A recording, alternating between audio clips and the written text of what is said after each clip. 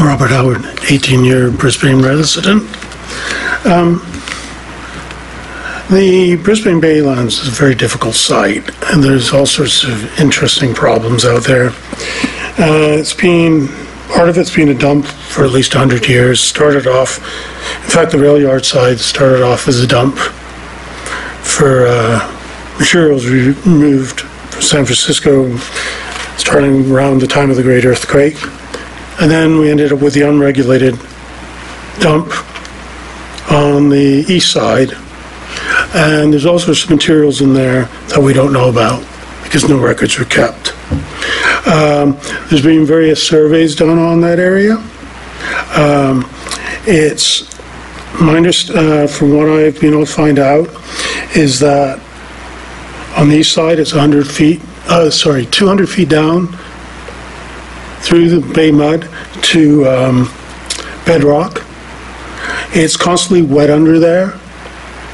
It's also got a tidal flow, so the water level goes up and down, which has a very interesting effect.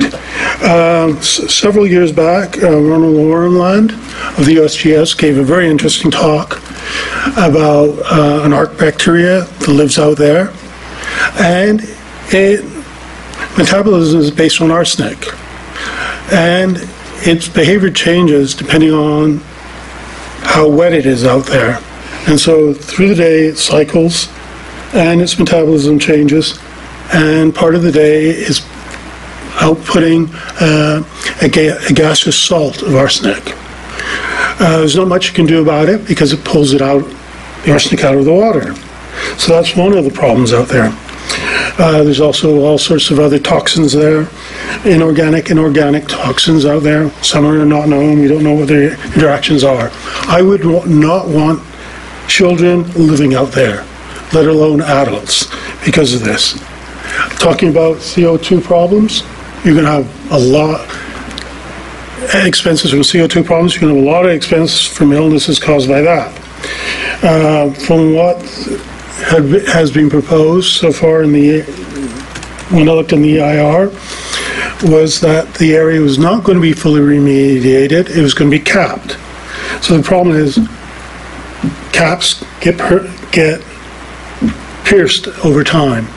Um, Down on Mountain View, uh, there's a problem with one of the Google buildings that was built on, a- on top of a waste dump there, where it got inundated with the toxins off the waste dump, and they had to evacuate the building after people got sick.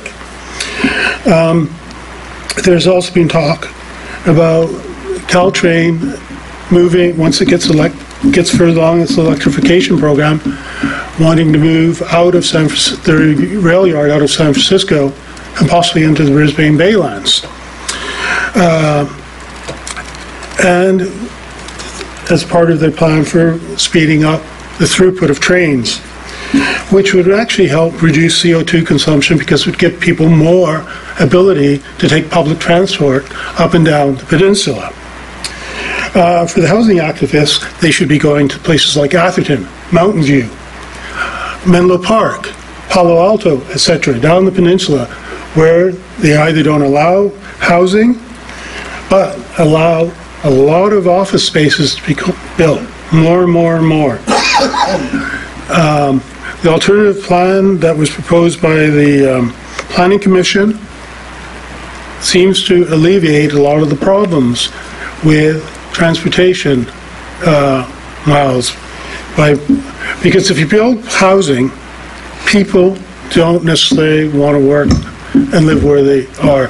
They keep talking about housing for people who are working somewhere else. So that's not going to reduce your transportation miles.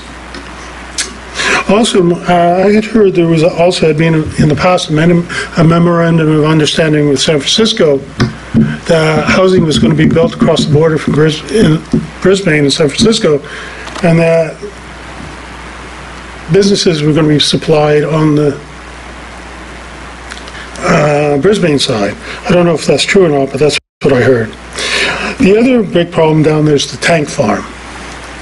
Tank farm's not going to go away anytime soon, if ever. Uh, There's constant plumes coming off of that, both in the air and the ground, and that blows over the baylands. Uh, let's see. Also, what about the water allocation?